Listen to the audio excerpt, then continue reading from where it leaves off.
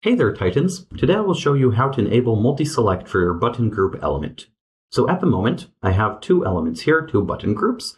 Both of them are standard default. I have made no changes. So if we go to my project right now, you should see that both of them allow me to select only one item at a time.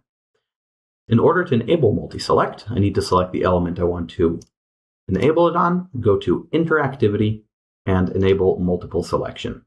Now, if I save and preview, you will see that I can select multiple different options here, while this one is still only single option. Now let's quickly add an input field to my project here.